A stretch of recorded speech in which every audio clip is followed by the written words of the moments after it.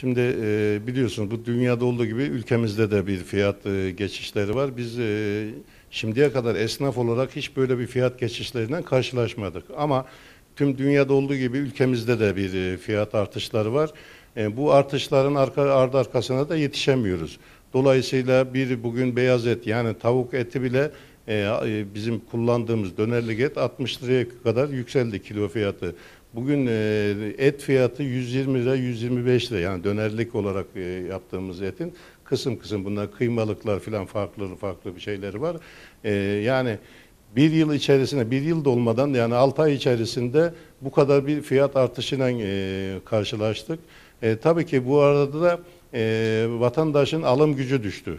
E, dolayısıyla e, bizler de ister istemez lokantalarda, pastanelerimizde olsun e, biliyorsunuz süt ve süt ürünlerine de bir e, zam geçişleri oluyor. Dolayısıyla bizler de e, ürünlerimizi pahalı alınca ister istemez fiyatlarımıza e, yansıtmak zorunda kalıyoruz. Mecburen yansıtmak zorunda kalıyoruz. Bunu da istemesek de e, yapıyoruz. E, onun için e, mecbur ka- kaldığımız için biz bu e, şeyleri yapıyoruz. E, fiyat artışlarını. Ama e, şu var ki e, inanın e, gitgide azalıyor. Yani e, ticaretimizde olsun, e, şeylerimiz, satışlarımız olsun. E, inanın biz bunların e, peşinde yetişemiyoruz pahalılıklar nedeniyle. Ama inşallah bilmiyorum e, ileride bir e, kolaylık gelir mi diye düşünüyoruz ama şu anda da görünen bir şey yok.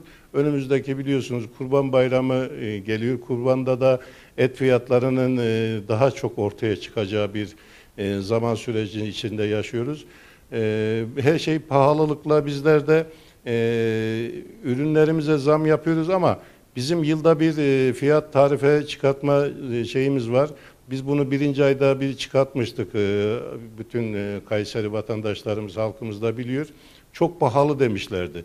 Zaten fiyat o tavan fiyattı. Şimdi bizim yapmış olduğumuz e, liste fiyatların inanın e, bizimki altta kaldı. Yani bizim çok üstümüze çıkan bir fiyat e, artışları oldu. Bizler şu anda zam yapmadık ama e, böyle giderse yönetim kuruluna konuşup belki de zamma geçebiliriz. Yani şimdi tabii ki vatandaşlarımız bugün pazarda da olsun, marketlerde olsun, evlerine de alışveriş yapıyorlar.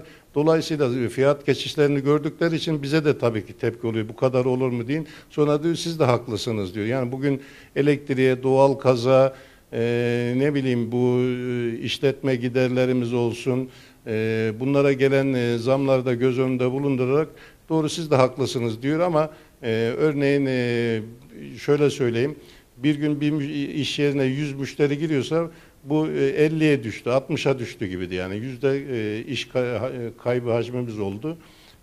Bunlarla mücadele etmeye çalışıyoruz bizler de.